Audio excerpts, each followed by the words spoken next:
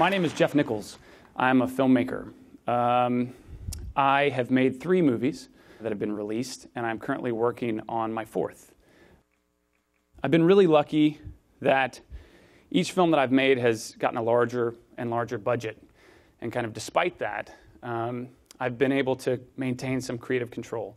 I write each of my films, uh, I direct each of my films, and I have final cut over their edits. So if you've happened to actually see one of my movies um, and you don't like it, it is totally my fault. Um, there's no one else to blame. The good thing about that is over the course of three films, I've actually been able to develop a point of view as a filmmaker. It doesn't always happen in this business. But because of that control, I've been able to think about my films and put something very personal into each of them. In my first film, Shotgun Stories, I actually didn't know what I was doing uh, when I started it. Uh, it wasn't until after the film was finished and I read one of the first reviews that I realized I, I had a point of view. There was this review that came out that said both the camera and the characters were languid, uh, which is a really fancy way of saying the movie is really slow. The funny thing is, when I read it, I agreed. And I actually, I actually thought I meant to do it. Uh, I just had never been forced to enunciate it before. Uh, I'd financed that film with friends and family's money, and nobody asked me why I was doing it. I was just doing it. My first film, Shotgun Stories, follows a feud between two sets of half brothers, and the violence escalates. It essentially is a revenge narrative. Revenge narratives, typically, westerns, action movies, uh, it follows a good guy whose buddy gets killed or something, and he chases him and then eventually shoots him or drops him off a building. And as an audience, we feel really good because the bad guy got what he deserved. Um, but I wanted to subvert that. Uh, I wanted to subvert that idea, even though I didn't really know I was doing it. Um, and the first thing to do was to make a film that was very still, very quiet. Also, that's because I chose to, to follow the lower class set of brothers. Typically, these guys would be the bad guys in the movie. Um, but I wanted to figure out what they were about and humanize them. Uh, the thing about them is uh, they're not upwardly mobile guys. They're like these white trash redneck guys in southeast Arkansas. And they weren't making progress in their lives. If anything, through their actions in the film, they were hurting themselves. And as a result, I thought about the camera and I thought that it should just be still. They aren't moving, so we aren't moving. And oddly enough, there's a tension in the film that ratchets up, and the camera still doesn't move. It's almost oppressive um, the way that you have to watch it. So I want to show you this clip, uh, a little bit of context. This scene follows two of our main characters after they find out that their younger brother has been killed, and they're standing outside the hospital. And they mention uh, uh, a character's name, and, and that happens to be the younger brother's fiance.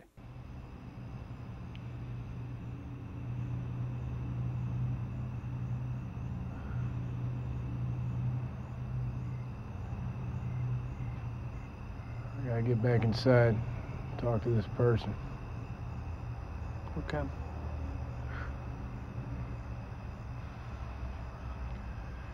Did you go by Annie's mom? Let her know. Yeah, I will. Somebody's gonna have to tell Cheryl.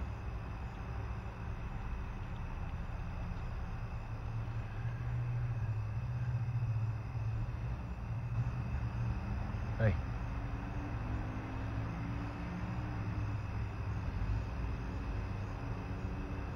I'll see you at home.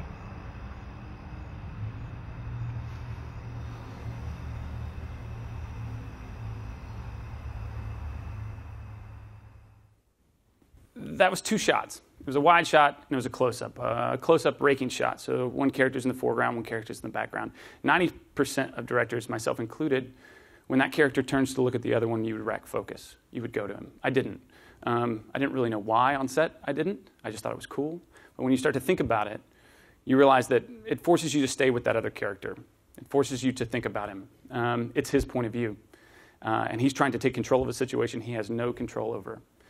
So then that starts to bring up this idea that, that this bigger point of view that you're trying to make as a filmmaker, this idea, this theme, um, it's all supported by this disparate collection of shots.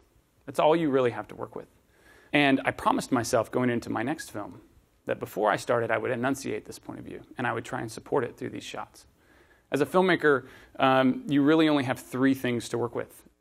You have camera placement. What we don't always realize is on set, a filmmaker has a 360 degree view to choose from. Do I put the camera up high, down low, far away, close up? Next, you have to choose the lens wide lens, long lens. Long lens was the second shot. And then there's movement. Uh, and there are different types of movement. One, in this, there's no movement. There's dollying, which is a track that keeps the frame locked. There's Steadicam movement, which is a gyroscopic device that hangs off the person that wears it, and it, it moves in a very elegant, smooth way. And then there's handheld movement, which is what you see in Jason Bourne movies. And all these things add up together to mean something um, and to mean a point of view. Usually it's a character point of view, but even when you have all these shots that are a character's point of view, they have to add up to something. They have to mean something. So for my second film, it's called Take Shelter. I wrote it in 2008. The economy was collapsing, the environment was going crazy, and my wife was pregnant. Um, I was very nervous. I was very anxious, and I wanted to make a movie about that. So I designed a film that followed a man who began to have visions of a giant supernatural storm. And he didn't know if these were uh, visions of the future or if they were symptoms of a mental illness uh, that had been running in his family. And I was trying to think visually how I was going to show this anxiety. And I was sitting on my couch one night and I was watching The Shining by Kubrick. And there's this shot of Jack Nicholson and he's typing at a keyboard and the, the camera's behind him. And it's a wide shot and it's just slowly moving in on him. And I thought, now, Kubrick's moving the camera. Why is he moving the camera? Um, whenever you move the camera, it means something. It means point of view. But whose point of view is that? There's no one else in the room. But it's Kubrick. I know there has to be one. And then I realized there is one. Um, and it's actually the point of view of the Overlook Hotel, if you've seen the film. Uh, the entire hotel is haunted. There is a spirit that is uh, working its way into Nicholson's brain.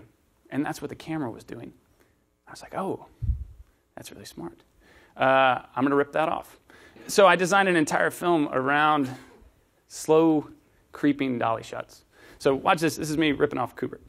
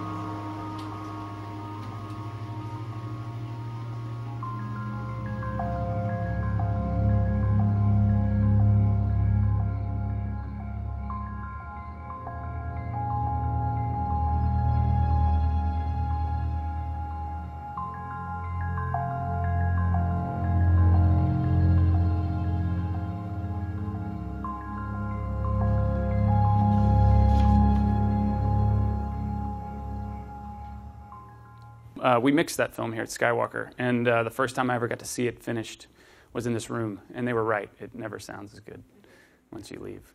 So, my third film is a film called Mud, and it follows two 14 year old boys who discover a man hiding out on an island in the middle of the Mississippi River. I knew I wanted to make a film about unrequited love, and I knew I wanted it all to be from the perspective or point of view of a 14 year old boy. And so, again, I started thinking about things. My first film was totally still, stagnant.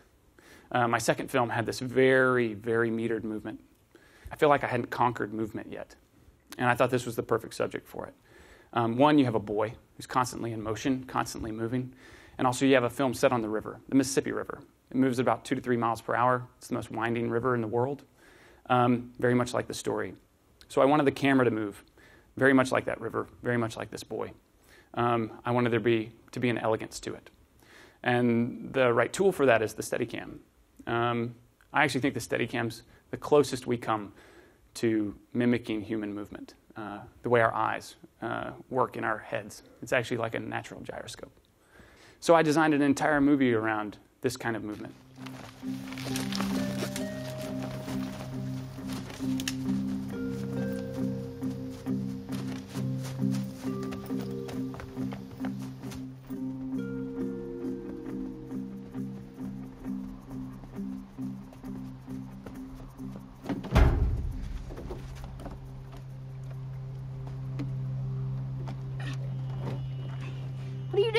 Saw that same boot print up in the tree.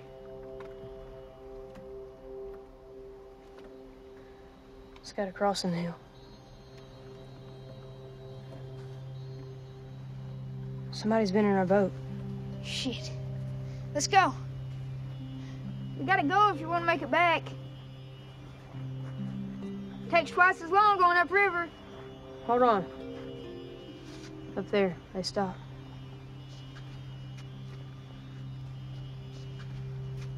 Where the hell did he go? I don't know.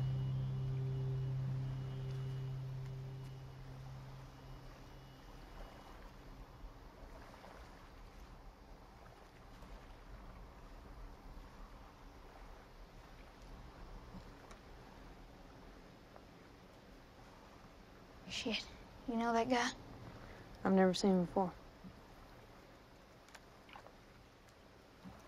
Shit. So you can see in that clip, just like the one from Take Shelter, not every shot moves. Uh, like I say, it's a combination of things. It's like a, a toolkit as a director I've started to build on. Uh, there's still shots, they're wide shots, but then certain ones move.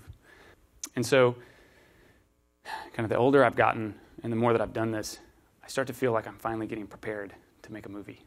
Um, and uh, this last thing that I have for you is new film that I'm working on. It's with Warner Brothers, and they're really nice to let me show it to you. I thought it, it kind of made this point, which is you'll see examples of each type of, of shot that I've kind of shown you here. Some shots will be still, some shots will be Steadicam.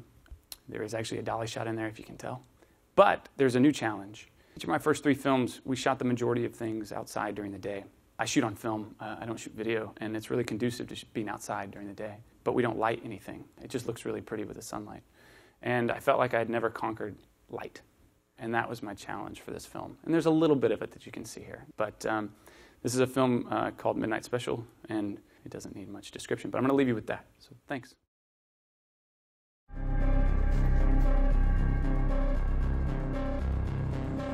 Are you okay? We'll be there soon. Why are you wearing those goggles, huh? Stop! Stop! He's with me. He's my son. Yeah, well, you ought to watch your kid. Yeah, I got it. Thank you. Everything okay?